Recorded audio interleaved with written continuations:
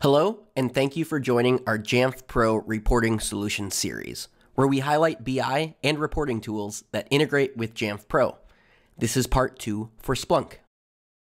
Jamf Pro is the leading Apple device management solution for IT professionals, and Splunk is the gold standard for data collection, analysis, and getting insights into your environment.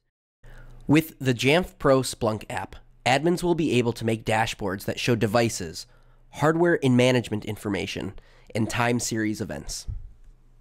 You'll need a few things on hand to get started. You'll need a Jamf Pro instance, a Splunk instance, and you'll have needed to install the Jamf Splunk app, as we showed in our last video. Let's get our first data pull done.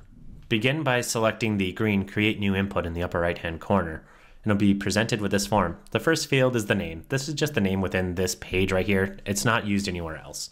However, I do like to keep it the same as the name of the modular input. Next is your interval. This is a number of seconds between data pulls. I will discuss polling strategies in a different video, but in this case, I'm going to choose a weekly poll. Next, you have your index to speed up searches, and then you have your JSS URL.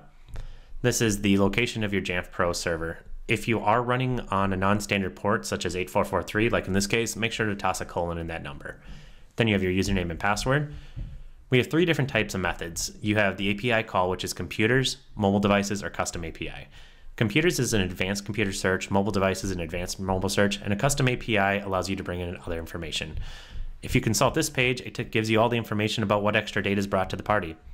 Just go ahead and copy paste this from this page right into there, and then click Add.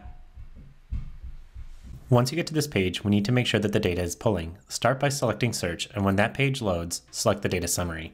In some cases, you'll be able to actually see that the last data was loaded a few seconds ago, but in this case it didn't. So select data summary. Select your host, and you'll be able to see all the data. As you can see, the data is pulling in. You can see the source that we used and the information that it collected.